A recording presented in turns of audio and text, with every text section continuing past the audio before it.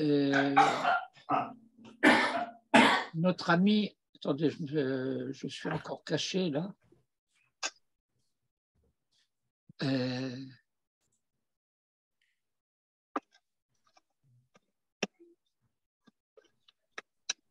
notre ami Yosef a demandé euh, si nous pouvons étudier un peu quelque chose à propos de, de Eliezer. Et en particulier, il voudrait, savoir, je ne suis pas sûr de lui répondre dans cette étude, pourquoi son nom n'est pas prononcé dans, le, dans le passage euh, de la mission d'Eliezer euh, auprès de la famille d'Abraham qui est restée euh, en, à Haran, parce que il espère qu'il pourra ramener de là-bas celle qui devra devenir l'épouse de Yitzhak. Alors,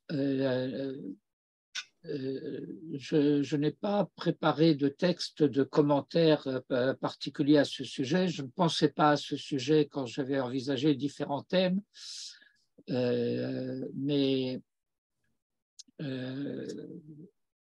je ne suis pas sûr de pouvoir, dans le cadre restreint de l'heure que nous nous sommes fixés, même si on déborde un petit peu, euh, de, pouvoir euh, arriver à, expliquer euh, tous, les, tous les aspects de, la chose.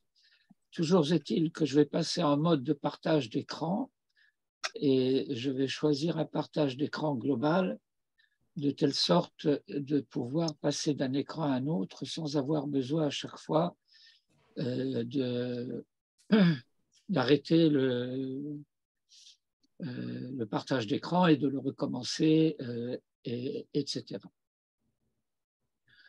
Alors, euh, le, thème de la mission d'Eliezer commence au chapitre 24 de Sefer Bereshit.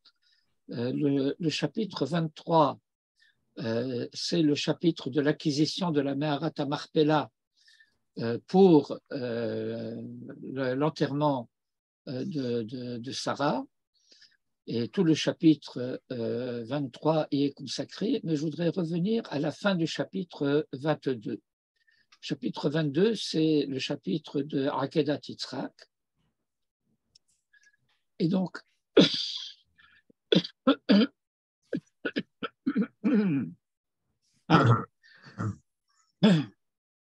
il y a une paracha.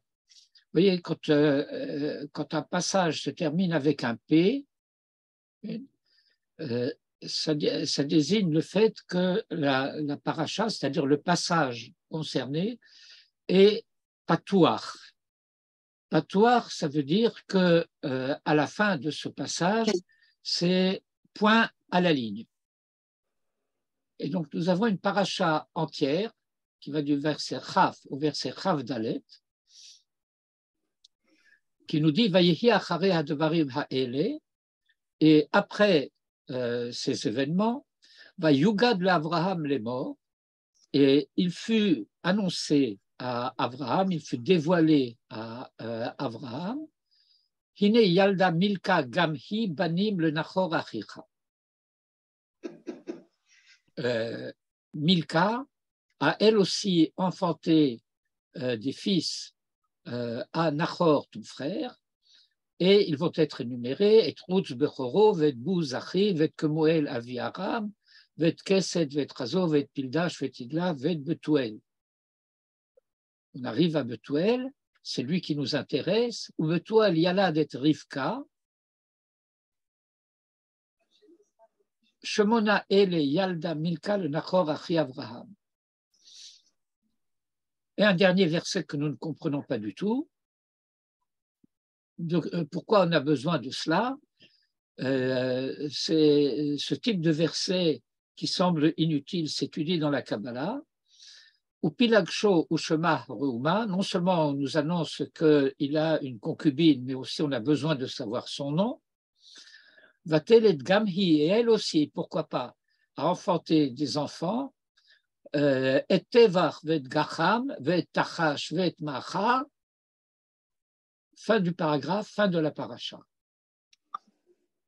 Vous remarquerez, en passant, qu'on n'a pas parlé de Lavan qui est pourtant le fils de Betuel. Mais ce qui nous intéressait essentiellement, et donc ça aurait dû se terminer euh, par cela, ou Betuel, Yala des Rivka, c'est elle qui nous intéresse. Et donc Abraham a appris qu'il existait une épouse potentielle pour son fils Yitzhak.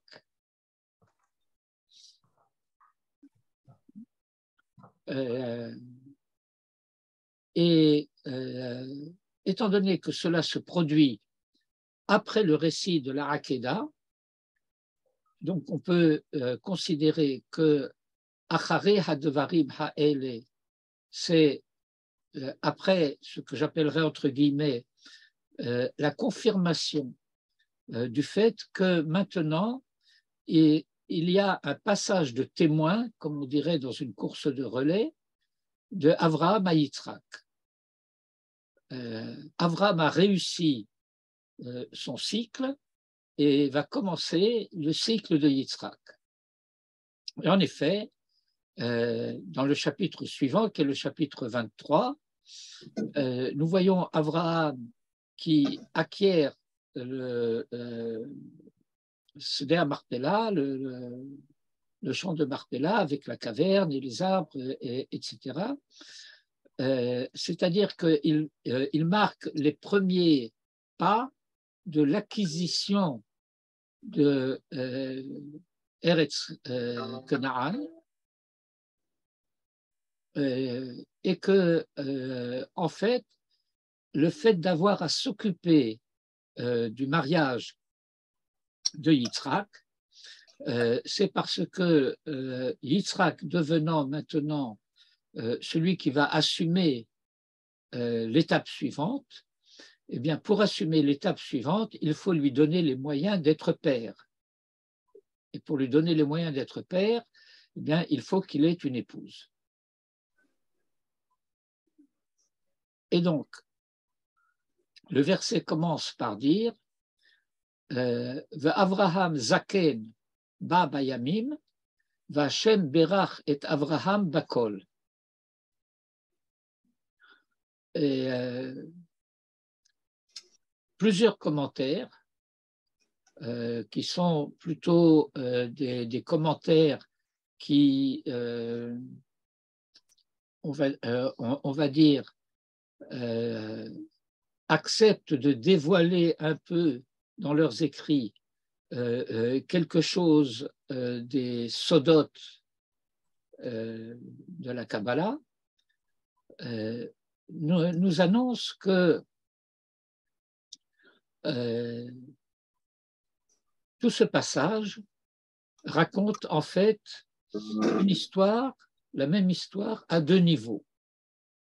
Au niveau terrestre, ce qui se passe sur Terre, et euh, au niveau euh, supérieur, euh, ce, qui se passe. Je ne veux pas dire dans le ciel parce que ce n'est pas dans le ciel que ça se passe, même si nous avons une certaine façon de parler qui serait tentée de le dire comme cela. mais en tout cas de ce qui se passe dans le monde d'en haut. Et donc, le, récit qui nous est donné ici est un, est un récit sur le fait que la réussite de ce qui se passe en bas dépend dans une large mesure de la réussite de ce qui se passe en haut. Euh, nous aurons par la suite euh, euh, d'autres exemples de cela, en particulier dans Parashat Vaishlach, lorsque la Torah va nous raconter à la fois la rencontre de Jacob et de Ésaü en bas, mais avant qu'elle nous raconte cela, elle nous aura raconté la rencontre de Jacob et de Ésaü dans le monde d'en haut, celui que la tradition désigne comme Saro Shel Esav, comme l'ange gardien, si vous voulez, entre guillemets, de Ésaü. Et étant donné que l'ange gardien de Ésaü a confirmé à Jacob les bénédictions qu'il avait reçues d'Isaac, alors euh, Ésaü en bas n'aura d'autre choix que de faire euh, ne serait-ce qu'un semblant de paix, de réconciliation avec, euh, avec Jacob. Il était venu dans l'intention de lui faire de la guerre, de, de l'empêcher de rentrer en Eretz Israël, et finalement, ils vont s'embrasser. Euh, les commentaires, euh, en particulier basés sur le Midrash, euh, vont dire il voulait le mordre. Mais finalement, il n'a pas pu et il a été obligé de l'embrasser. C'est ce thème sur lequel nous aurons à, revenir par, la suite eh bien, euh, nous devons euh, l'aborder dans une certaine mesure déjà ici. Et pour l'aborder ici, euh, il faut que, il faut que je dise deux choses à propos de ce Eliezer dont le nom n'est pas mentionné ici. La première chose, et c'est un thème qui est connu à travers le Midrash, mais euh, il n'est pas nécessairement connu, si j'ose dire, du grand public, euh, c'est qui est Eliezer D'où vient-il? Eh bien, Le Midrash nous enseigne que Eliezer est le fils de Nimrod. Ah ouais Eh oui. Et que euh, de lorsque euh, Abraham a été euh, jeté par Nimrod dans la fournaise ardente et qu'il en est sorti indemne, alors Eliezer a décidé de s'attacher à Abraham, de quitter euh, son père.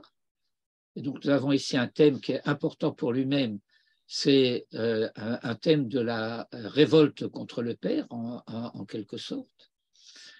Et il s'attache à Abraham et il devient non seulement son serviteur, mais euh, il est aussi, euh, dans une large mesure, euh, un porte-parole, puisque le Midrash nous dit que lorsque Abraham le désigne comme Damesek Eliezer, le Midrash dit Shehaya dole ou mashke mitorat rabo le acherim qu'il puisait et versait de la Torah de son maître euh, aux autres. Il décompose, le Midrash décompose Damesek en Dolé Mashke. Euh, j'aurais peut-être à revenir là-dessus euh, par, la suite. Mais donc, nous avons cette première dimension de, de Eliezer, qui est fils de celui qui est l'ennemi par excellence euh, d'Abraham, euh, celui qui cherchait à détruire Abraham, précisément parce que Abraham était Abraham Haïvri. Et euh, c'est la raison pour laquelle cette désignation d'Abraham Haïvri apparaît précisément au moment de cette guerre des quatre rois contre les cinq rois. Euh, je dois faire malgré tout euh, un, petit retour en arrière euh, pour, parler de, de, cet aspect-là des choses. En effet, la, Torah nous raconte que ce qu'on appelle Aré Akikar, les cinq villes de la vallée qui est devenu par la suite euh, l'emplacement de la mer Morte, mais donc Sodome, Gomorre et les autres euh, villes euh, alentours, mais dont Sodome était la, principale, étaient inféodées à un monarque de l'Est. Et ils se sont révoltés En quoi consistait la révolte? C'est qu'ils ont cessé de payer la redevance. Et on voit que euh, les rois de l'Est, les rois de l'Orient, ne réagissent pas tout de suite. Pourquoi ne réagissent-ils pas tout de suite? Eh bien, parce que euh, en réalité, ils attendent. Ils attendent de voir comment les choses vont se développer. Quand est-ce qu'ils vont finalement prendre la décision d'attaquer? Eh bien, c'est quand Lot se sera installé à Sdom.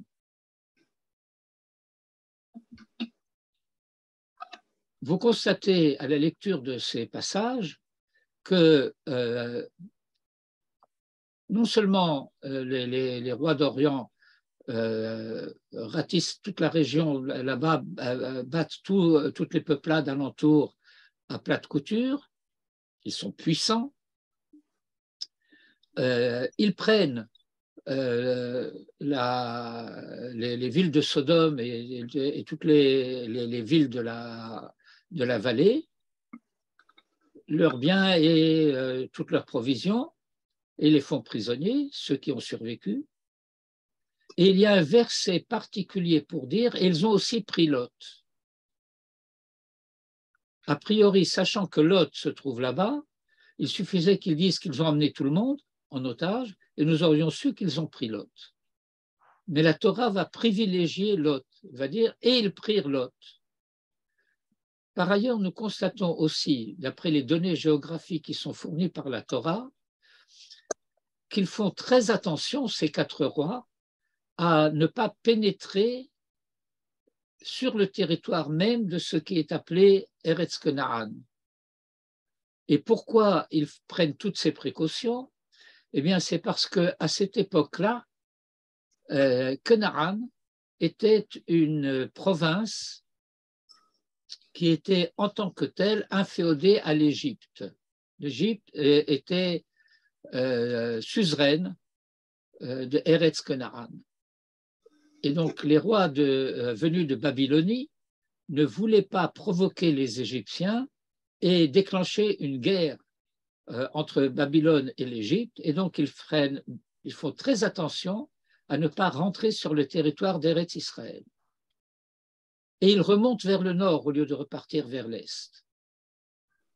Et en même temps, euh, on laisse un fuyard partir pour euh, euh, dire à, à Abraham ce qui est arrivé. Mais à quel Abraham? Abraham l'ennemi. Pourquoi Abraham l'ennemi? Parce que a ivri. Autrement dit, toute cette guerre a été déclenchée par euh, les, rois d'Orient, par euh, les, souverains de la région là-bas de, Babylone, de Babel, dont Nimrod, euh, qui, qui n'est pas nommé, mais qui est désigné par un pseudonyme.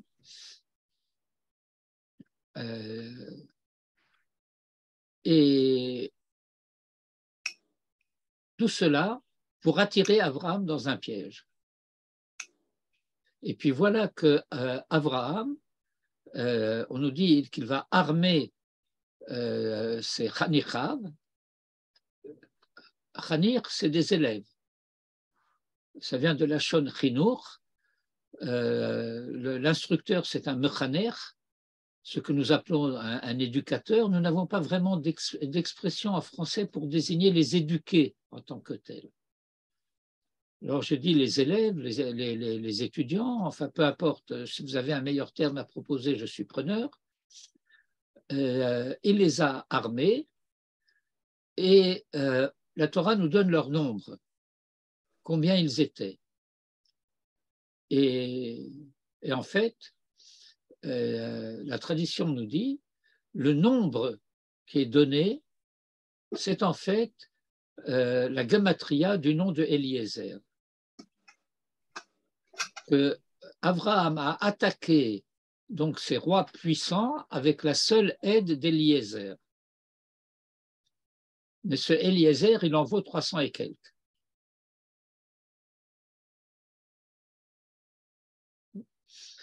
Euh, et donc, il y a euh, une. Euh, comment dire Une proximité particulière à différents niveaux entre Abraham et Eliezer. Euh, Eliezer est devenu son homme de confiance. Il y a un vieux, mot français euh, qu'on n'utilise plus guère, mais qui était le factotum, celui qui fait tout. Factotum, ça vient du latin. Euh, l'intendant, l'homme de confiance, euh, finalement, celui qui aurait pu être l'héritier. Et c'est de cela qu'Abraham se plaint après la guerre des rois. Et où Dieu lui dit, non, tu auras un fils, etc. Et puis il se passe euh, tout, l'épisode de Parashat Vayera, puisque tout ce que je vous ai raconté jusqu'à présent se trouve dans Parashat Lech et euh, dans Vaïra, il va, y avoir la naissance d'Isaac. Et donc maintenant, Abraham a un fils. Et donc Eliezer ne sera pas l'héritier. Et puis subtilement, dans le passage que nous lisons ici, le Midrash déduit d'un certain nombre d'expressions présentes dans le texte que euh, Eliezer espérait marier sa fille à Isaac. Il ne peut pas être l'héritier, mais il peut devenir le gendre, enfin le beau-père en quelque sorte. S'il marie sa fille à Isaac, alors, euh, euh, d'une certaine manière en tout cas, même si c'est de façon un peu indirecte, euh, sa famille va rentrer dans la famille d'Abraham. Euh, et euh, c'est la raison pour laquelle Abraham dit à son serviteur Zekan Beto, l'ancien de sa maison, Hamoshel Bechol Asherlo, euh, qui est son intendant en quelque sorte, euh, celui qui euh, traite de toutes ses affaires, celui qui domine à Moshel, le gouverneur, de tout ce qui lui appartient, de tout ce qui est à lui. Et il lui dit Simna yadecha tachatirechi. Place ta main, mets ta main sous ma hanche. Et cette expression traditionnelle signifie qu'il euh, va y avoir une prestation de serment sur la Brit Mila. et je t'assermenterai. Eloke Hashamaim ve Haaretz, par Dieu, par Hachem, Dieu du ciel et Dieu de la terre, Asher Lotikar Isha Livni, de ne pas prendre, que tu ne prendras pas femme pour mon fils, Mibenot HaKenarani, d'entre les filles du Cananéen, Asher Anochi Yoshev Kirpo, au sein duquel je réside. Autrement dit, euh, premier point du serment, euh, tu n'es pas concerné. Permettez-moi juste une petite question. Pourquoi Eloé Hashamaim Et c'est d'ailleurs dit deux fois. Oui, alors euh, euh, vous patientez. D'accord. C'est curieux. Non, non, c'est pas curieux du tout. Euh, vous patientez. Euh, deuxième point, qui est l'arti vel moladeti teler, karta isha livni le yitzhak. Et alors, tu iras El Arti vel Moladeti. Arti ou Moladeti, je ne rentre pas dans les, dans les analyses ici, c'est les mêmes que celles dont parle la Torah lorsque euh, euh, Dieu lui avait dit L'echlecha mertzecha ou mimoladtecha ou mibet avicha el haaretz asher areka. Euh, Et cela veut dire, eh bien, tu vas te rendre là où, euh, où habite ma famille, et c'est de là-bas que tu prendras une femme pour mon fils.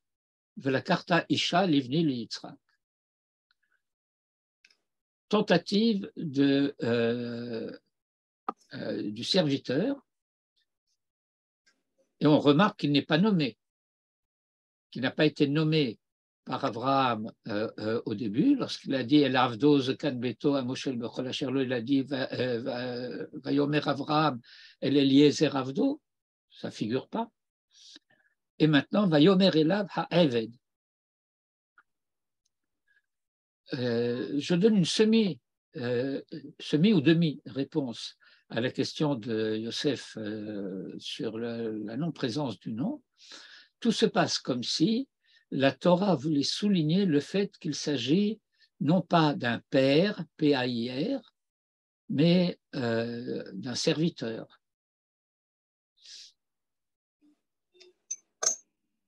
Euh, un personnage important, un personnage digne de confiance, mais euh, un serviteur, un Eved.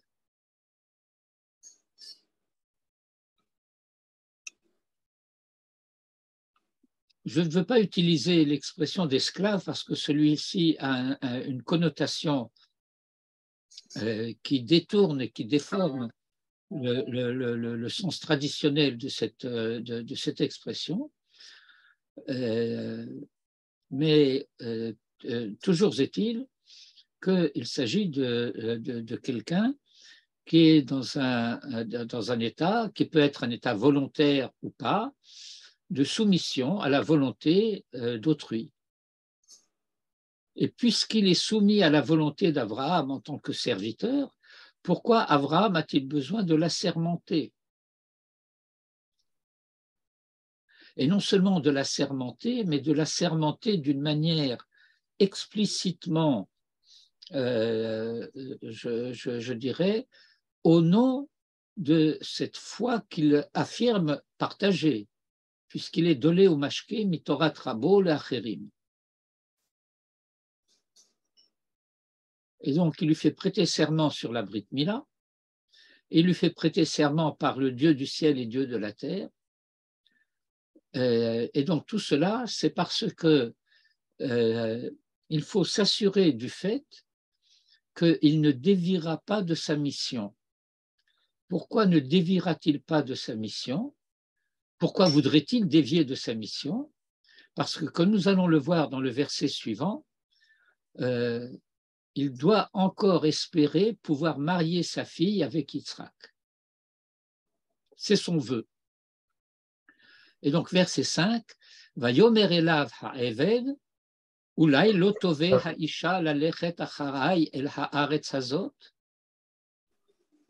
Peut-être, euh, dit le serviteur, la femme n'acceptera pas d'aller avec moi euh, vers cette euh, terre-ci, El Haaretz Hazot, alors, puisque tu veux que ce soit elle l'épouse de Yitzhak, Bincha El Haaretz est-ce que je devrais ramener ton fils à la terre dont tu es sorti? Avraham, et Abraham lui dit Hishamer lecha pentashiv et benishama sur un ton quasiment menaçant. Garde-toi bien de ramener mon fils là-bas. Hachem Eloke Hashamaim, Hachem Dieu du ciel et pas de la terre. Asher le kachani mi betavi ou me'eretz molati, qui m'a pris de la maison de mon père et de la terre euh, euh, de mon enfance.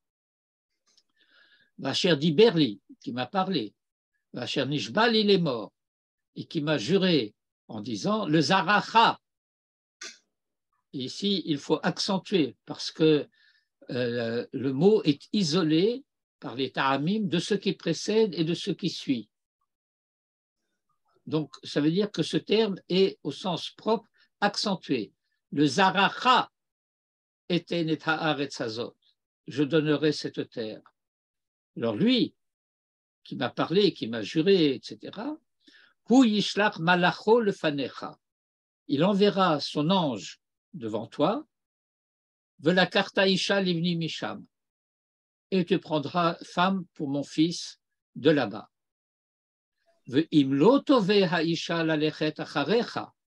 Et si la femme n'accepte pas d'aller après toi, venikita mishevuratizot, tu seras quitte de euh, mon serment, euh, ceci, mais en tout état de cause, Raket Beni, Lotachev Shama, mais mon fils, tu ne la ramèneras pas là-bas.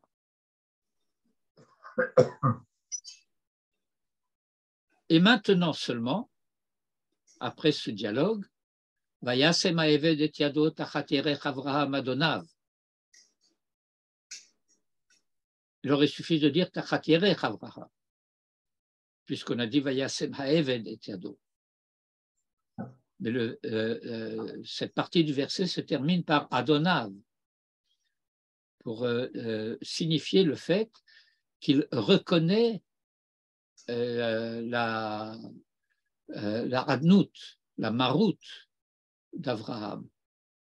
Il n'a pas seulement le statut social de Réved, il a, il a aussi le fait qu'il reconnaît la souveraineté, disons, d'Abraham. Et donc il place sa main sous la hanche d'Abraham, Vaïchavalo, et il prêta serment al Hadavar Hazé sur cela.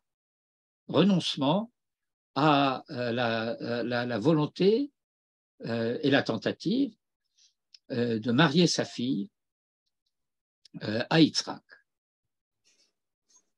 Et alors, maintenant, à partir du verset 10, Eliezer va faire un certain nombre de préparatifs euh, pour aller dans la famille d'Abraham euh, au pays du Nord, à Haran, euh, pour aller demander la main de, de, Rivka. Et donc ici, encore une fois, il est appelé Ha'eved. Vaikach Ha'eved Asaragumali Migmale Adonav et non pas Migmalé Avraham. Euh, Vayeler, euh, et il alla. Vechol tuv adonav beyado. Et tous les biens, euh, tuv est, un terme qui est un, singulier pluriel. C'est tout ce qui est bon, tout ce qui est bien comme dans le Birkat Amazon, nous Mikol Tuv. Nous Mikol Tov, Mikol Tuv. Euh, ça désigne l'ensemble des possessions. C'est-à-dire que tout se passe comme si euh, tous les biens d'Abraham, tout ce qu'Abraham possède, il le tient dans la main.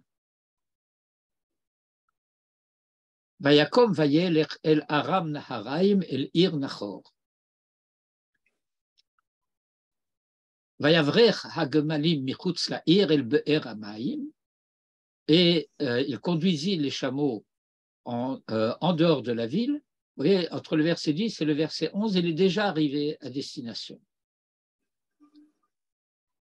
Et il mène les chameaux euh, en dehors de la ville vers le puits d'eau, le Et Erev, au temps du soir, le Et Tset Hasharavot, à l'heure où sortent les puiseuses. Vayomar.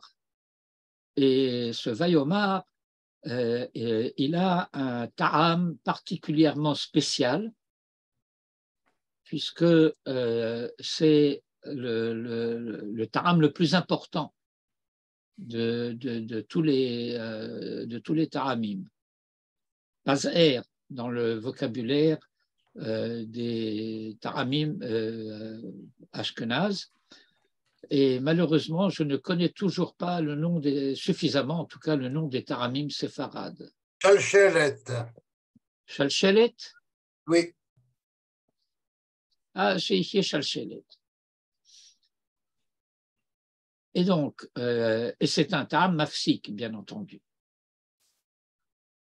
Hachem Eloke Adoni Avraham. Hachem, Dieu de mon maître, de mon Seigneur euh, Abraham. Hakrena le Fanai Hayom.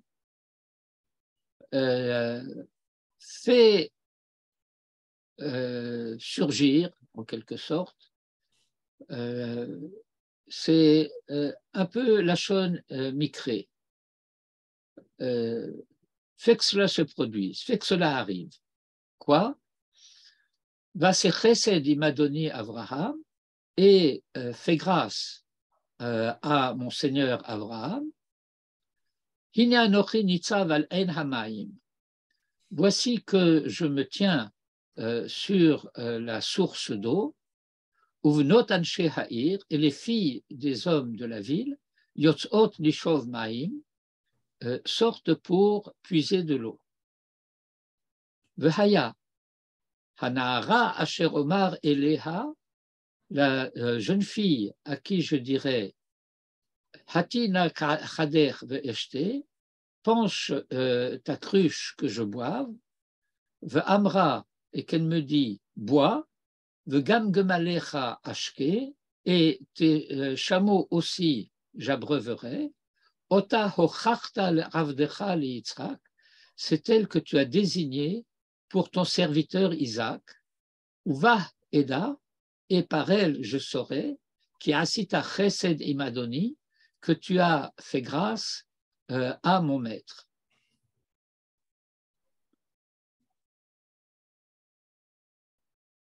Nous voyons ici que euh, Eliezer, moi je le nomme parce que c'est de lui qu'il s'agit, c'est exactement quelle jeune fille il doit choisir euh, pour son maître euh, Yitzhak. Étant donné que la mida de Abraham était la mida Chesed, la mida de son épouse était midat Hadin.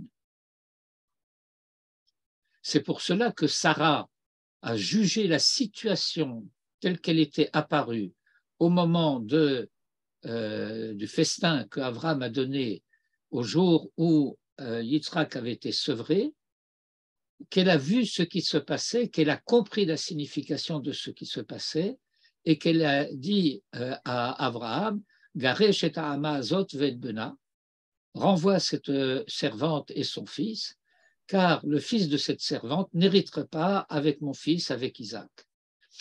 Et euh, le Midrash explique, euh,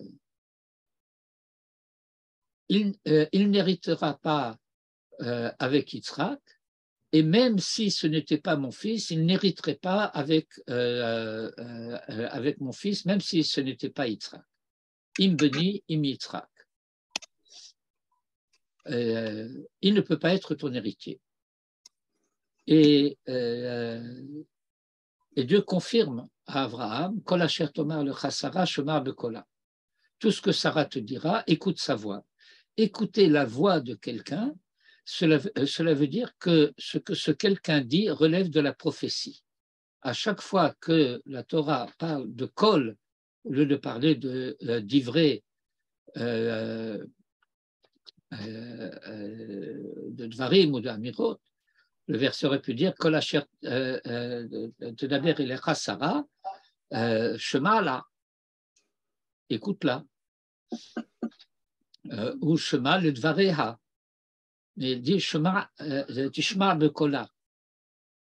Et, et le kol fait référence à la voix qui supporte la parole et donc à la prophétie. De la même manière, étant donné que la mida de Yitzhak, c'est la mida Hadin, il faut que la mida de son époux soit la mida Chesed, de telle sorte que euh, les deux midot s'équilibrent dans le couple, s'associent dans le couple. Comme il y a eu cette association dans le couple Abraham-Sarah, il faut qu'il y ait cette association dans le couple Yitzhak-Rivka. Et, par conséquent, sachant qui il doit rechercher, il veut avoir confirmation de la midata chesed euh, de, euh, la, euh, de la candidate en question. Étant donné qu'Avram l'envoie dans sa famille, il sait bien qu'il doit prendre femme de la famille. il veut avoir une confirmation. Et Vayehi Uterem Kila voilà qu'avant même qu'il ait fini de parler, Rivka voici que euh, sort Rivka, Asher Yulda Levituel ben Milka, qui a été enfanté à Betuel, fils de Milka, Eshet Nachor, épouse de Nachor, Achi Avraham, frère de Nachor, Vechada al-Shirma, et euh, sa cruche sur son épaule. tovat euh, que euh, la jeune fille est tovat mar'e me'od, très belle à voir, vierge, et aucun homme ne l'a connue d'aucune façon. Va teret ha'aina, elle est descendue vers la source, Vatemale Chada Vataral, et elle a euh, rempli sa cruche et l'a montée. Le Midrash dit à ce sujet que euh, c'est l'eau qui est montée euh, vers, la cruche lorsque elle descendait sa cruche pour la plonger. Donc c'était un signe pour, pour Eliezer. La Torah ne le dit pas explicitement, mais euh, il lui suffit de dire va te et kada, elle remplit sa cruche, on, aurait bien compris qu'il a fallu qu'elle la remonte, puisque va ha'aina, elle, elle est descendue vers la source, on ne dit pas qu'elle a descendu sa, cruche dans l'eau, mais on dit qu'elle l'a remplie. Et si elle l'a remplie, elle a descendu, elle a remonté. Eved likrata, et le serviteur courut à sa rencontre, Vayomer, et lui dit Hagminina mikader, euh, donne-moi euh, un peu d'eau à boire de ta cruche. Vatomer, je Adoni, et lui dit, bois, mon Seigneur. Vatoret kada aliada vatashkehu, et elle a descendu de son épaule sa cruche euh, vers sa main pour lui donner à boire. Vatechal le hashkoto, quand elle est finie de lui donner à boire, Vatomer, elle dit, Gam ligmalecha eshav, je puiserai aussi pour tes chameaux, adim kilu lishtot, jusqu'à ce qu'ils aient fini de boire. Vatemaher, euh, vatarar kada el hashoket, haber lishov, et donc euh, elle fait tout ce qu'il faut pour puiser encore de l'eau, vatishav le kol gemalav, et elle puisa pour tous ses, euh, pour tous ses chameaux. Et maintenant, le verset change de ton on ne parle plus de Eved, on dit Veha'ish Mishta'ela. Et euh, lorsque le verset ici dit Ha'ish, eh bien, ça veut dire qu'il s'agit de l'ange qui a été envoyé en avant d'Éliézer, comme lui avait dit et comme lui avait annoncé euh, euh, Avraham.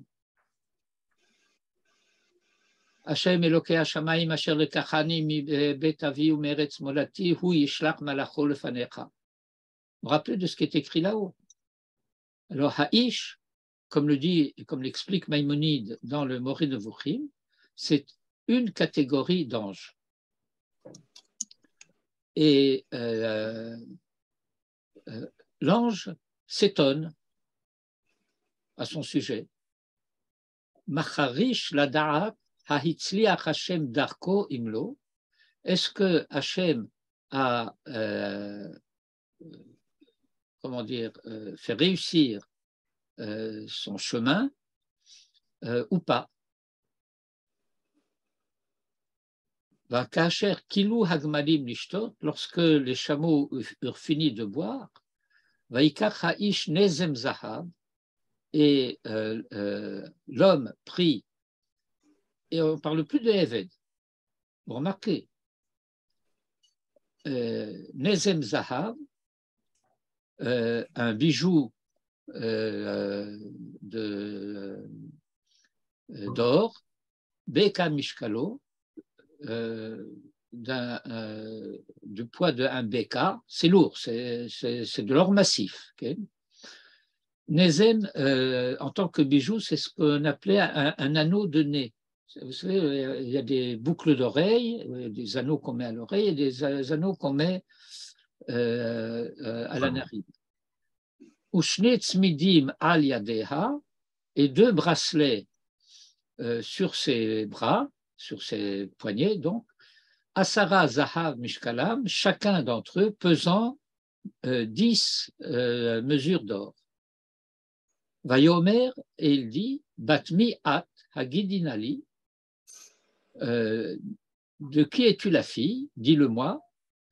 Y a-t-il Bet Avira dans la maison de ton père, Makom Lanou Lalil, un lieu pour nous où dormir?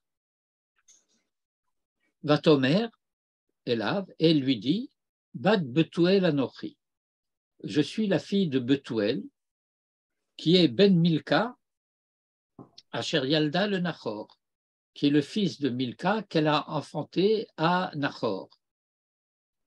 Vatomer, Elav, euh, et elle lui dit Ganteven Gamispo Rav Imanu. Et nous avons aussi beaucoup de, euh, de foin euh, et, de. Comment on traduit Mispo? Euh, Fourrage.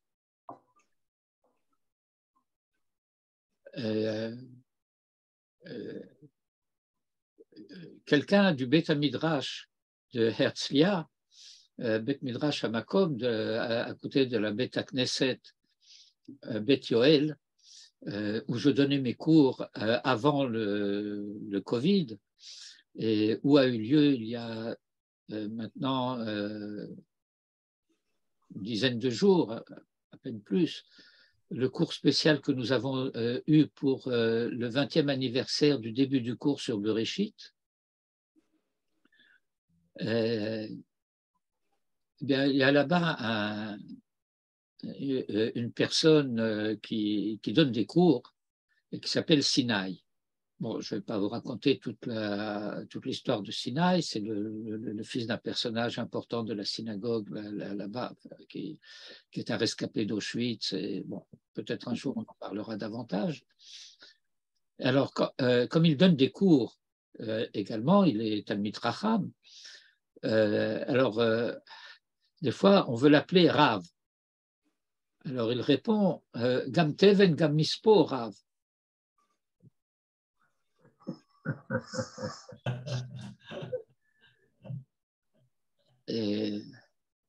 Vaïkod Ha'ish, et euh, euh, l'homme euh, se pencha, Vaïkod, Vaishtachavu Lachem, il se prosterna à Dieu.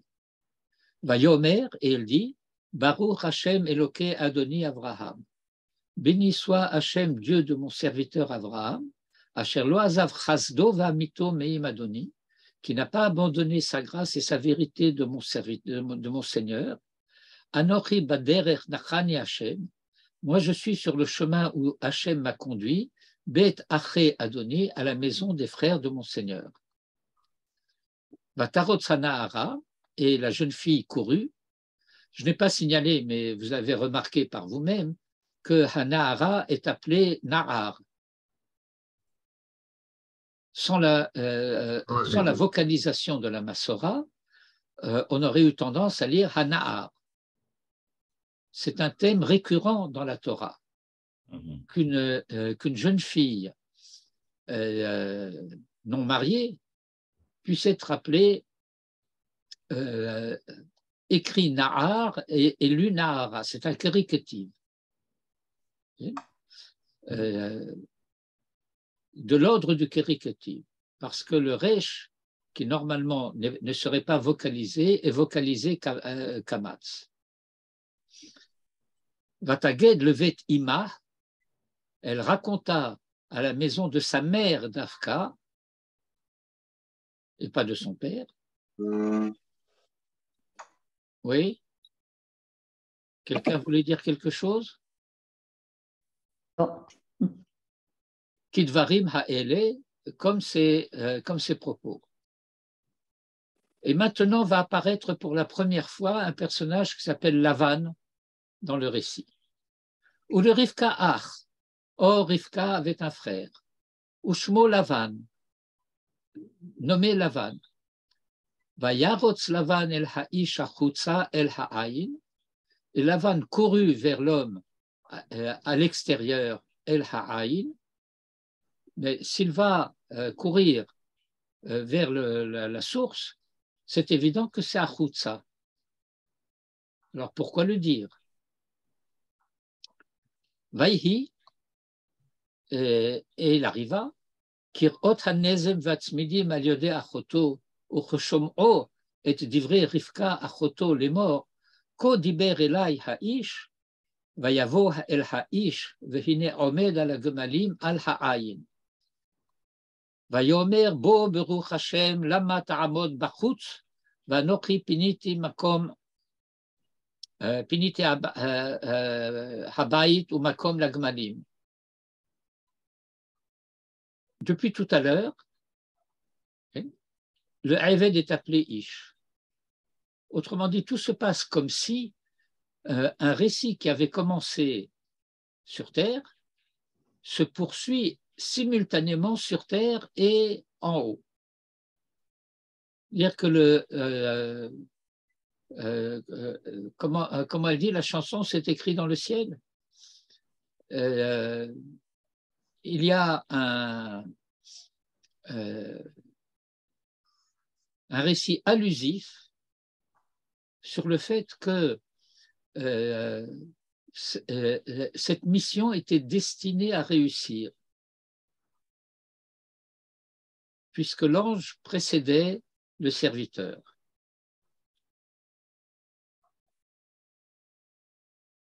Et euh, Vayavo Ha'ish l'homme vint à la maison, euh, il euh, va euh, décharger les, chameaux, il donne du foin et du fourrage aux chameaux, ou maïm et de l'eau pour laver ses pieds, et les pieds des hommes qui étaient avec lui. Le thème du lavage des pieds, comme vous le savez, depuis euh, l'accueil des, euh, entre guillemets, des anges qui sont venus rendre visite à Abraham pour l'annonce de la naissance euh, d'Isaac et pour le sauvetage de, Lot, de Sdom, et pour la guérison d'Abraham, c'est pour ça qu'ils étaient au nombre de trois. Et comme après la guérison d'Abraham, celui-là n'avait plus de tâches à accomplir, il n'y en a que deux qui sont arrivés chez Lot, un pour détruire Sodome et l'autre pour sauver Lot. Et donc, euh, le thème que nous avons découvert à ce moment-là là-bas, euh, c'est le fait que le lavage des pieds, c'est le fait de se purifier de l'idolâtrie. D'une idolâtrie qui pouvait être d'une certaine manière contractée par la poussière du chemin. Bon, je ne rentre pas dans le détail même de commentaires de Rachid là-bas, euh, des Arabes qui se prosternent à la poussière de leurs pieds, euh, c'est très mystérieux, on ne connaît pas cela, euh, mais euh, qu'en tout cas, il, s'agit de se débarrasser de, cette poussière d'idolâtrie. Vayusam le fanav et on lui servit à manger. Vayomer, et il dit, Lo ochal, je ne mangerai pas, ad emdibarti de varai, jusqu'à ce que je dise ce que j'ai à dire. Vayomer, et il lui dit, Daber, qui lui dit, il n'y a pas de sujet.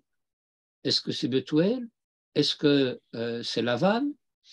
Euh, Ce n'est pas dit. Et maintenant, on change de niveau. Bayomar, et il dit, Anochi.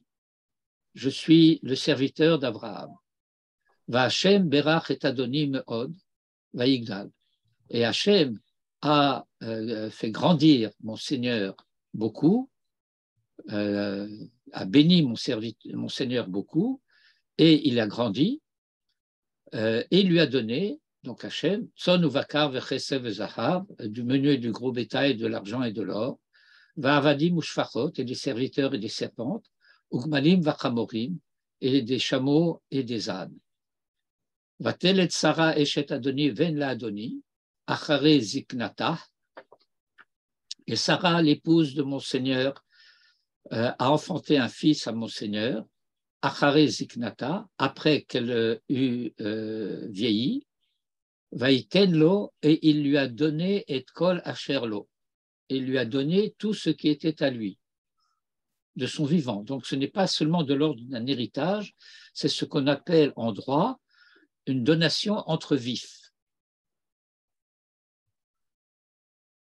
Étant donné que maintenant je viens demander la main de votre fille, euh, eh bien, euh, tout se passe comme si tout ce qui était à Abraham et qui est devenu euh, à son fils, eh bien, il est proposé en quelque sorte en don à Rivka, de même qu'il avait été dit, et beado, tout le bien de son Seigneur dans sa main. Va Omar et l'Adoni. Pardon, euh, ni Adoni les morts. Et mon Seigneur m'a assermenté, disant Lotika Risha Livni mi benot asher anochi yoshev euh, Tu ne prendras pas femme pour mon fils d'entre les filles du Cananéen, au milieu de qui, euh, sur, la, terre de qui je réside. Imlo el bet avit vel mishparti. Euh, ce ne sont pas les termes qu'Abraham avait utilisés. Et donc, il se dévoile ici que Eliezer savait parfaitement quelle était la destination de son voyage. Betavi ou Mishparti? C'est ça, Arti ou Molati. El Betavi teler vel Mishparti, vel la karta Isha Livni. Il raconte tout. Vaomar et l'Adoni. Peut-être la femme ne voudra-t-elle pas euh, venir avec moi? Vayomer Elai. Et il me dit Hachem, Asherit halarti le fanav. Hachem, devant qui j'ai marché? Yishlach malacho itach, vitzliach darkecha. Et vous voyez que là aussi, il change les termes de ce que Avram lui a dit. Abraham lui dit Hachem Eloke Hashamaim Asher euh, Lakachani Mibet Avi euh, Meretz Molati ou Ishlach Malachu, etc. Eliezer traduit. Hachem Asher Ithalarti le Fanav, Yishlach Malachu Itach, avec toi et pas devant toi. Vitzliach Darkecha, et il fera réussir ton chemin. De la carte à Isha Livni, et tu prendras femme pour mon fils, mi mishparti ou mi betavi, de ma famille et de la maison de mon père. Autrement dit, Eliezer souligne le fait, vous n'avez, messieurs et mesdames, pas le choix. C'est une décision qui a été prise par Dieu, de la manière dont Abraham l'a annoncé. La femme que tu prendras, ce ne sera pas une cananéenne, ce sera une fille de ma famille.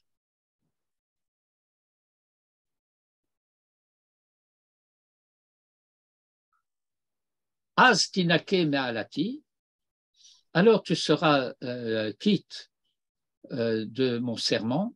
Une Allah, c'est un serment, c'est un autre terme pour shvoa. Kitavo el mishparti, si venu à ma famille, et qu'il ne te donne pas, et pourquoi pas le cha, alors tu seras euh, libre, euh, quitte de mon serment. hayom el Je suis arrivé aujourd'hui à la source. Va Omar Hashem Eloke Adoni Avraham. Hachem, Dieu de mon Seigneur Abraham. Im yeshrana matzliach darki. Si tu, euh, il faut traduire ici, euh, si tu veux bien, si tu acceptes de faire réussir euh, mon chemin, c'est-à-dire ma mission. Et moi, je renverse ma tasse de café. Euh, aleha, la voie sur laquelle euh, je marche. Voici que je me tiens euh, sur euh, la source d'eau. Et que la jeune fille qui va sortir euh, pour puiser va martila eleha et à qui je dirai Hashkinina mikader. Fais-moi boire un peu d'eau de ta cruche.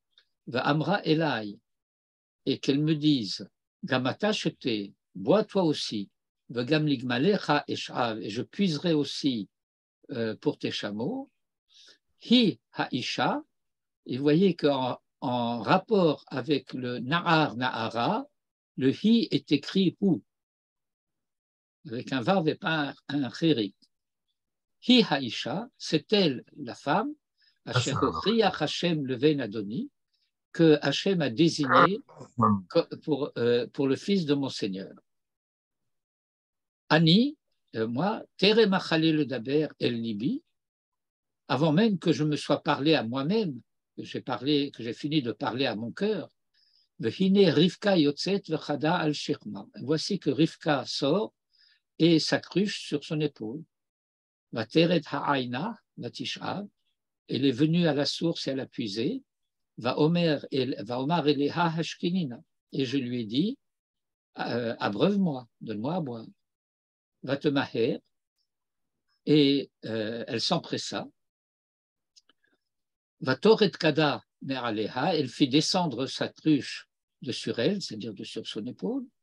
Va Tomer. Et elle me dit, jetez, bois. Vegam Gemalecha Ashke. Euh, et j'abreuverai aussi tes chameaux hishkata, et j'ai bu, et elle a brevé aussi les chameaux. ici, changement. Jusqu'à présent, il avait modifié le récit du point de vue des termes qui avaient été utilisés. Interprété en quelque sorte, pour nous, c'est-à-dire pour la famille de Rivka, euh, euh, en diplomate, si je puis dire, euh, sûr de sa mission et de ses effets, les termes qui avaient été utilisés par Abraham, il les traduit dans des termes qui seraient désignés pour être plus convaincants, plus déterminants pour la famille de Rivka. Mais maintenant, il s'agit d'autre chose il va changer l'ordre euh, des événements. Dans le récit de la Torah, ici c'est le récit d'Eliezer. Plus haut, c'était le récit de la Torah. Dans le récit de la Torah, il lui donne d'abord les bijoux, il lui demande ensuite euh, son identité. Dans le récit de Eliezer, il lui demande d'abord son identité et lui donne les bijoux après. Va Chalota, et je lui ai demandé, va Omar, et j'ai dit, Batmi At, de qui es-tu la fille? Batomer ben, Bat Betuel ben Nachor Dalo Milka, je suis la fille de Betuel, fils de Nachor, euh, que lui a enfanté Milka. Va Simanezem Alapa, et j'ai mis euh, la boucle sur son nez, Vatsmidim aliadeha. Et alors, euh, qu'est-ce qui s'est passé dans la réalité? Est-ce que dans la réalité s'est passé ce qui est écrit dans le récit de la Torah ou c'est écrit dans le récit d'Eliezer?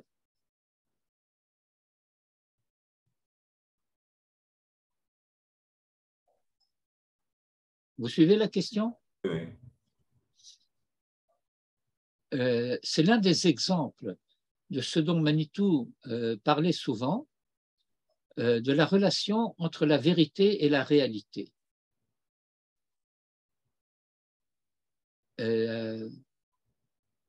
L'attitude de Rivka appelait le nézem et les bracelets.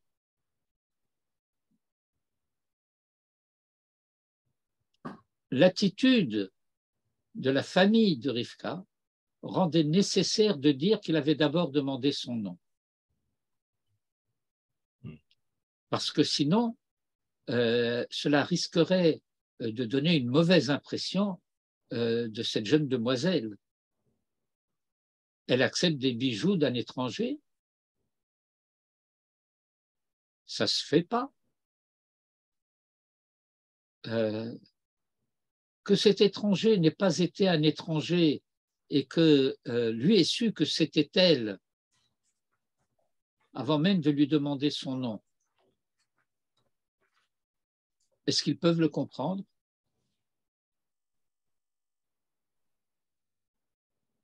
Nous savons bien de la suite du récit de la Torah euh, que euh, Lavan euh, n'est pas capable de comprendre cela. Nous l'apprenons en particulier de sa relation avec Yaakov et de son attitude et de sa conduite avec Yaakov.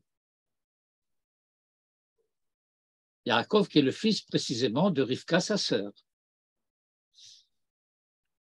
Et donc, euh, il faut changer l'ordre euh, euh, des, événements. ויקוד וישתחווה לשם. ואברך את השם אלוקי אדוני אברהם, אשר הנחני בדרך אמת,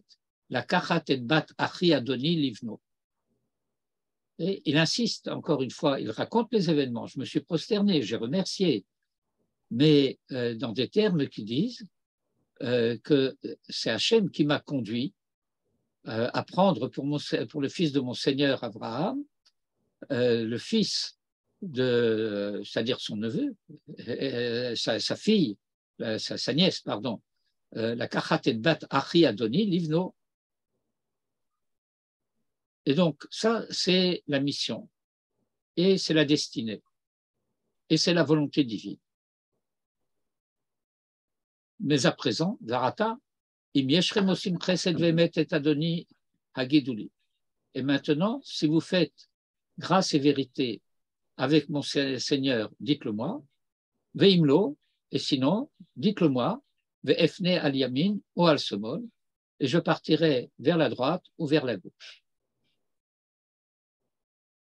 qu'est-ce que c'est la droite et qu'est-ce que c'est la gauche? Eh bien, euh, c'est euh, soit vers Ishmaël, soit vers Esav, qui sont de la famille, malgré tout, d'une manière ou d'une autre. Vayaran, Lavan ou Betuel. Et maintenant, quel chutzpah Lavan répond avant Betuel, qui est son père. Kavod. Euh, mais il montre un peu le bout du nez de son arrogance. Yann Lavan, et c'est un singulier. Bon, vous savez peut-être que en, euh, en, grammaire des grammairiens, lorsque le sujet suit le verbe, le verbe est au singulier. Lorsque les sujets précèdent le verbe et qu'ils sont plusieurs, le verbe est au pluriel. Ça, c'est ce que disent les grammairiens.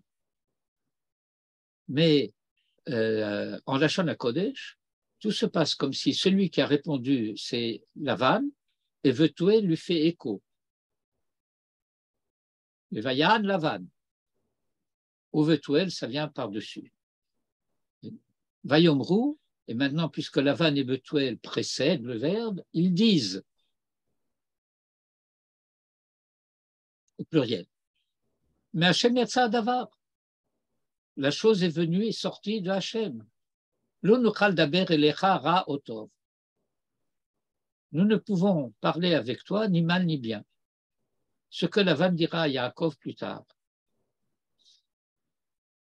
Euh,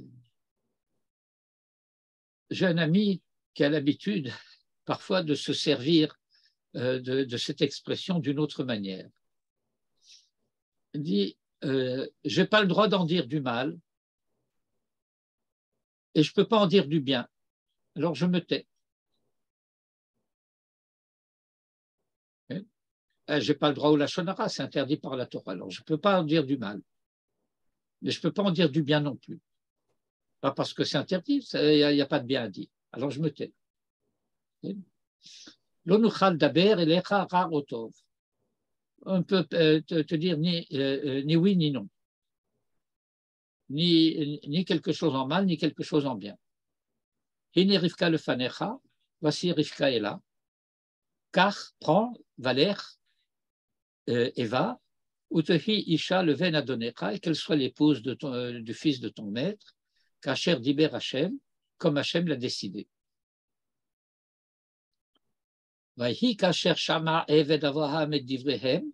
Et lorsque le serviteur d'Abraham eut entendu leurs paroles, euh, il se prosterna euh, Arza l'Hachem, il se prosterna à terre à Hachem.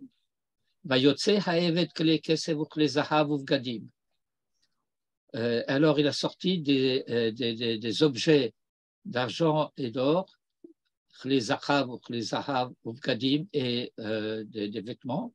Vaïten le Rivka, il les donna à Rivka, ou Migdanot, et euh, des cadeaux. Euh, il a donné le Achiha ou le Ima à son frère et à sa mère. Où il est passé le père? Vayochlu Vayishtu, et ils mangèrent et burent lui et euh, les hommes qui étaient avec lui, Vayalinu, ils dormirent, Vayakumu Vaboker, ils se levèrent le matin, Vayomer Shalechuni la Adoni, et il dit, laissez-moi partir vers mon maître. Shlichut a en, hébreu plusieurs sens.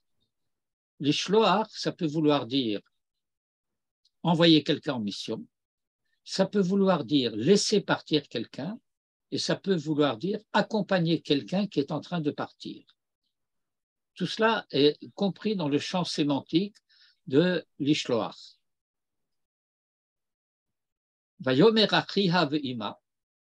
Et son frère et sa mère, et de nouveau, il n'y a pas de père. Le Midrash dit le père est mort entre-temps. itanu yamim oasor. Achar que la jeune fille euh, euh, demeure avec nous, Yamim Oasor. Euh, les commentateurs expliquent. Dans le pshat apparent, étant donné que Yamim c'est un pluriel et que le minimum du pluriel c'est deux, on devrait dire deux jours ou dix jours. Mais il n'est pas logique par ailleurs de demander plus après avoir demandé moins on pourrait dire dix jours ou deux jours. Si pas dix jours, alors au moins deux. Mais de dire des jours ou dix, euh, euh, ce n'est pas de l'ordre euh, du raisonnable. Et par conséquent, il faut comprendre que Yamim ici désigne une année, Assor, ça désigne dix mois. Qu'elle reste avec nous un an ou dix mois, et ensuite, elle ira. Euh, Alehem, et il leur dit Qui? Il n'y a pas de sujet. C'est le serviteur ou l'ange? Ou les deux? Qui se confondent d'une certaine manière maintenant. Alta Haruoti, ne me retardez pas. Hachem Darki. Hachem a euh, couronné euh, ma mission de succès Shalchuni. Laissez-moi partir, que j'aille chez mon maître. Vayomru, dernier recours, Nikra la Nahara, et Biha. Appelons la jeune fille et demandons-lui son avis. Interrogeons sa bouche. À cela fait aussi écho un passage du Talmud au début de ma Kiddushin, Hein? Euh, la Gemara s'interroge pour savoir pourquoi la Mishnah euh, de, cette Gemara, qui est la première Mishnah de Maseret Kiddushin, est euh, formulée au féminin. Le shalosh de Rachim, Aisha Niknet. Aisha Niknet, le shalosh de Rachim. Hein? Shalosh de Rachim, shalosh c'est un féminin. Étant donné que derrière existe au masculin et au féminin, alors on aurait pu préférer dire shlosha de rachim parce que la, Torah zachar. Puisque toute la Torah, a priori au niveau des mitzvot, est dite au masculin. Alors la Gemara va utiliser toutes sortes d'arguments pour expliquer pourquoi c'est au féminin. L'un de ces arguments est très simple, euh, parce que, euh, dit la Gemara, euh, si elle est d'accord, oui, si elle n'est pas d'accord, non. Autrement dit, le mariage, la possibilité du mariage dépend de la volonté, de l'acceptation de la femme.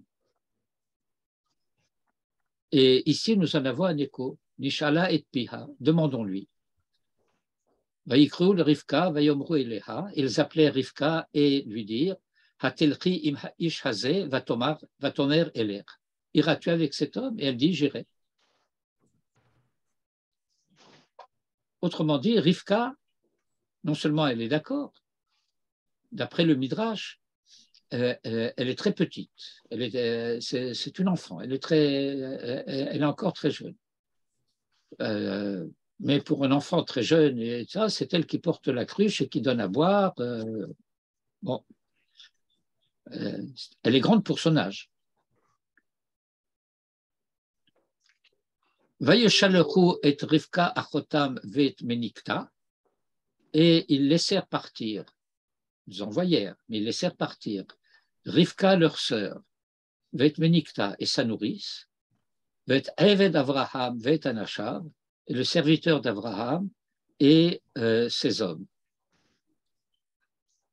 Vayovarchu et Rivka, et il bénit Rivka, Vayom Roula, et lui dire Achotenu, notre sœur, At Hayi le Alfe Revava, Vayiraj Zar Er et Sha'ar Son Av. c'est une bénédiction importante. C'est euh, une bénédiction qui est celle de la fécondité. Hei le alfer revava, à des, à des milliers de dizaines de milliers. Une revava, c'est ce qu'on appelle une myriade. Une myriade, c'est dix mille. Et à, des milliers de myriades, Vaïraj Zarer, et que ta descendance euh. Alors, Hirash, on a l'habitude de traduire par hérite. Euh, en, réalité, ce n'est pas exactement le sens.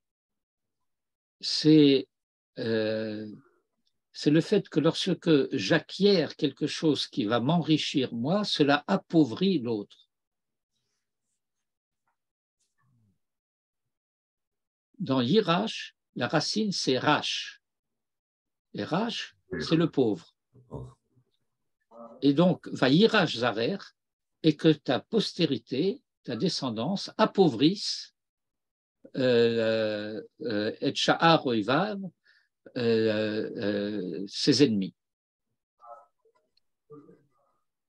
Vatakom Rivka, et Rivka se leva, vena Roteha, avec ses jeunes filles, ses servantes, ses suivantes, Vatir Kavna al Hagemalim, et elles euh, euh, chevauchèrent, on peut dire, elles, montèrent sur les chameaux, et elles allèrent à la suite de l'homme, de nouveau, Ha'ish, et l'opa Eved. Eved et. Alors maintenant, vous voyez que dans ce verset, nous avons de nouveau une contradiction. Euh, au début du verset, Rivka et ses suivantes montent sur les chameaux et elles vont à la suite du Ish. Et à la fin du verset, le serviteur prend Rivka et il partit. nous avons euh, à nouveau euh, cet enjambement entre ce qui se passe en vérité et ce qui semble se passer dans la réalité. euh, Rivka et ses suivantes suivent l'ange, le malach, qui est appelé Ish, alors que dans le monde d'en bas, il semblerait que ce soit le Eved qui prenne Rivka et qui parte.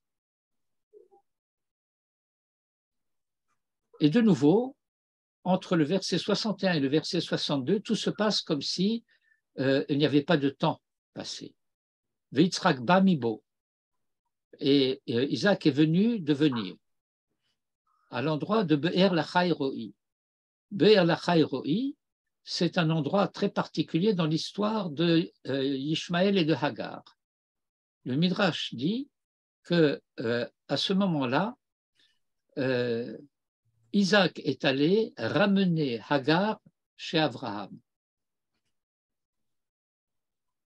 Sarah est morte, Abraham est veuf, il est seul.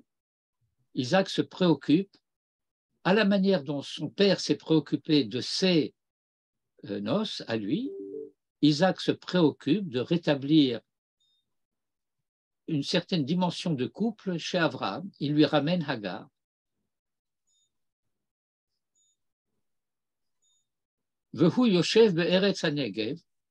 Et il demeurait dans le pays du sud.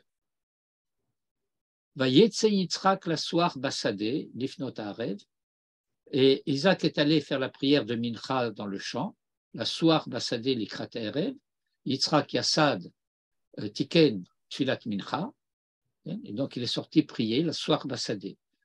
Parce que le terme de Sirha, qui désigne aussi euh, une discussion, une causerie. Euh, Sikha, c'est aussi un des termes par lesquels euh, on exprime la notion de prière. Vers le soir, donc ce n'est pas encore le soir, c'est l'après-midi. Vaïssa Ena Vayar, il leva les yeux, Vehine Gmalim Ba'im, et voici que des chameaux arrivent. Vatissa Rivka était Neha, et Rivka leva les yeux, ses yeux, Vatere et Yitzhak, et elle vit Yitzhak, Vatipol Me'alagana, elle tomba de sur le chameau. La vision de Yitzhak est renversante. El et elle dit au serviteur, likratenu, qui est donc cet homme qui marche, cet homme-là, en quelque sorte, halazé, euh, Haoler Basadé qui marche dans le champ à notre rencontre, le serviteur dit, c'est mon maître. Il aurait dû dire, c'est le fils de mon maître. Et donc ici, nous avons la confirmation définitive du fait que, euh, étant donné que Eliezer reconnaît Yitzhak comme étant son maître, eh bien, euh, le témoin, comme je disais au début de cette étude, est passé d'Abraham à Yitzhak. Et puisque c'est son maître, donc c'est celui euh, qui est destiné à être son époux. Et Rivka le comprend tout de suite, curieusement, puisqu'elle est supposée épouser le fils du maître de Eliezer. Elle voit Yitzhak, Eliezer dit c'est mon maître, et elle met euh, son voile et se couvre.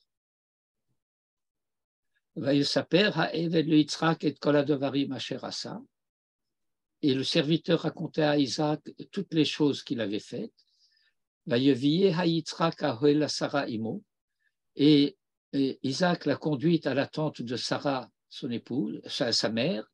et il prit Rivka, Vatehilo le Isha, et elle devint sa femme. et il l'aima.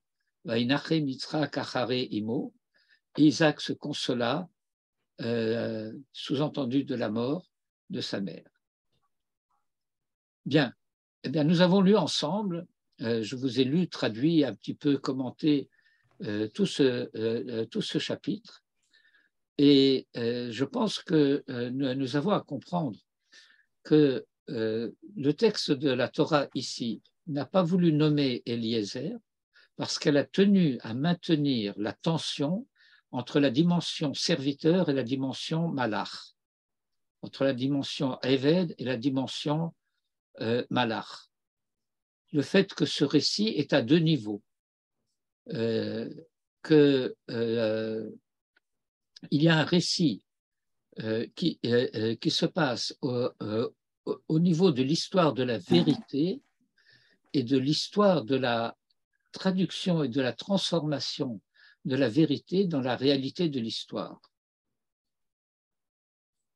Euh, nous aurions pu prendre beaucoup de commentaires sur chacun des passages de, la Torah euh, que nous avons lus. Euh, il y en a un sur lequel je veux revenir simplement en, en conclusion. C'est le fait que au début du passage, Abraham assermente euh, Eliezer par Dieu du ciel et Dieu de la terre. Et par la suite, lorsque Eliezer a émis un doute euh, sur le succès de sa mission, et qu'Abraham lui dit Dieu le Dieu du ciel qui m'a fait sortir de la maison de mon père et de la maison euh, de, pays de, mon enfance, qui m'a parlé, qui m'a juré, euh, à ta descendance je donnerai cette terre, lui enverra son ange devant toi, et tu prendras femme pour mon fils de là-bas. Euh, eh bien, euh, là-bas, c'est Chutzlaharet. En Chutzlaharet, euh, Hachem est Dieu du ciel, mais n'est pas Dieu sur terre. Alors que au début du verset, au début du passage, nous sommes en Eretz Israël en Eretz Israël, Dieu n'est pas seulement Dieu du ciel, il est aussi Dieu de la terre. Il est reconnu comme intervenant dans l'histoire terrestre des hommes et pas simplement comme une divinité à révérer euh, dans le ciel, qui ne s'occuperait pas du tout de ce qui se passe sur terre, dont nous n'aurions pas à nous occuper concernant notre vie terrestre. Et c'est cela le témoignage d'Abraham à savoir que euh, Dieu créateur n'intervient plus en principe dans le monde d'en bas, puisque euh, la création est devenue nature et que, euh, sauf nécessité, Dieu n'intervient plus dans l'ordre de la nature. Le miracle n'intervient que de l'ordre de Piquar Nefesh mais euh, Dieu est intéressé, dans tous les sens du terme, à l'histoire des hommes. Et donc il y a un remède dans tout ce passage au fait que euh, si Dieu n'intervient pas dans l'ordre de la nature, il aménage l'histoire de telle sorte que l'histoire de l'humanité puisse réussir. Et puisque dans le mariage de Isaac avec Rivka, c'est l'histoire de l'humanité qui est en cause. Alors, euh, Abraham assure, garantit à son serviteur que Dieu enverra son ange. C'est-à-dire que euh, euh, sa, mission, sa mission réussira. Dieu n'aura pas à intervenir pour changer quoi que ce soit dans le monde il ne va pas faire que Rivka veuille abreuver euh, euh, Eliezer et ses chameaux, c'est d'elle-même qu'elle veut le faire. C'est de lui-même que Eliezer va euh, demander que le signe lui soit donné, que la jeune fille qui fera, lui donnera à boire et qui fera boire ses chameaux, c'est elle qui est désignée pour être la femme de, de, Yitzhak. Parce que sa mida, c'est la mida Tachesed, et que comme telle, euh, elle est euh, le, euh, comment dirais-je, la destinée de Yitzhak dans la Midas et la Midatadine et qu'ainsi ils peuvent s'équilibrer l'un l'autre. elle est tzadeket, comme le dira le début de la paracha de Toldot, dans les commentateurs en particulier de Rachid, que la différence, la seule différence, si l'on peut dire, et les deux tailles, mais la seule différence entre Yitzhak et Rivka, c'est que Yitzhak est tzadik ben tzadik, alors que Rivka est tzadeket batracha. Mais elle, elle est tzadeket, 100% tzadeket. Et, euh, et, donc, en quoi consiste euh, le, fait que l'ange, en quelque sorte, aplanit le chemin.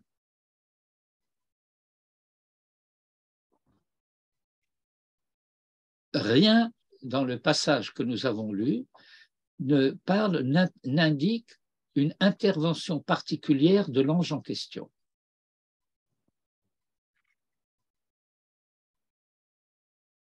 Et pourtant, Eliezer reconnaît cette intervention puisqu'il va remercier Dieu. Et qu'à chaque fois qu'il va se prosterner, il ne se prosterne pas devant les hommes, il se prosterne devant Dieu. Il ne se prosterne pas non plus devant l'ange. Il se prosterne devant Dieu. la chaîne. Donc, euh, Eliezer est un personnage d'importance. Et d'ailleurs, son nom, qui deviendra un nom traditionnel en Israël, euh, indique bien cela. Mon Dieu aide. Eli Ezer. Ezer, c'est l'aide. C'est d'ailleurs le sens de toutes les discussions que le Talmud rapporte entre Rabbi Eliezer et Rabbi Joshua. Est-ce que l'homme se sauve et Dieu l'aide ou est-ce que Dieu sauve? Yehoshua ou Eliezer? Bon, ça c'est un thème pour lui-même, je ne rentre pas euh, dans, le détail. Mais Eliezer, ça veut dire que euh, la Midata Chesed, qui est désignée par le nom divin El, ne fait pas ce qu'il faut faire à la place de l'homme. C'est l'homme qui doit agir. Et quand l'homme agit, Dieu l'aide.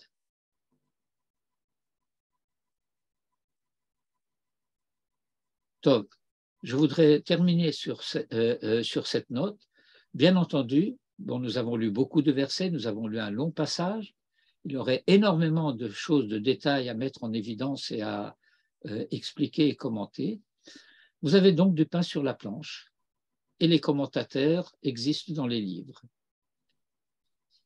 Et donc, Erev Tov, Mimena ou Mimenu, Shavuatov. Merci beaucoup, Todarabah. Et Shabbat Shalom. Et Shabbat Shalom. C'est passionnant. תודה רבה.